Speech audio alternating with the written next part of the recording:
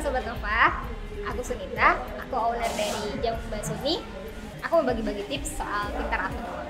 Um, kalau aku biasanya aku bikin pos-pos sendiri. Jadi uh, yang pertama pasti uh, penuhin kewajiban-kewajiban ya kayak untuk belanja bahan, terus untuk uh, karyawan, bayar karyawan, terus uh, bayar-bayar yang lain ya kayak bayar uh, IPL kayak gitu-gitu itu udah dipos-posin biasanya. Terus setelahnya itu biasanya aku posin lagi yang untuk gaji diriku sendiri karena kan ini sebenarnya kan ini uh, income income dari jamu basuni bukan aku sendiri kan.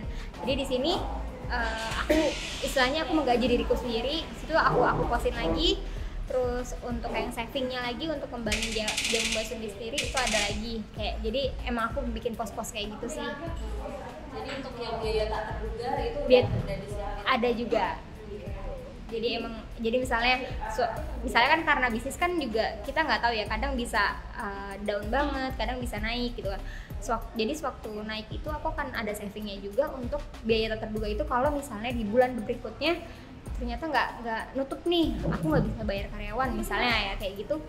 Jadi aku bisa ngambil dari situ kayak gitu. Gitu ada kayak keluh kesah nggak menghadapi si panic buying um, karena corona ini kalau kesannya paling ya banyak customer jatuhnya jadi banyak customer baru tapi yang ya itu yang sebenarnya mereka itu nggak butuh nggak maksudnya kayak harus mereka mau beli langsung banyak. Sementara menurut aku nggak segini aja cukup karena yang namanya jamu itu kan nggak bisa tahan lama.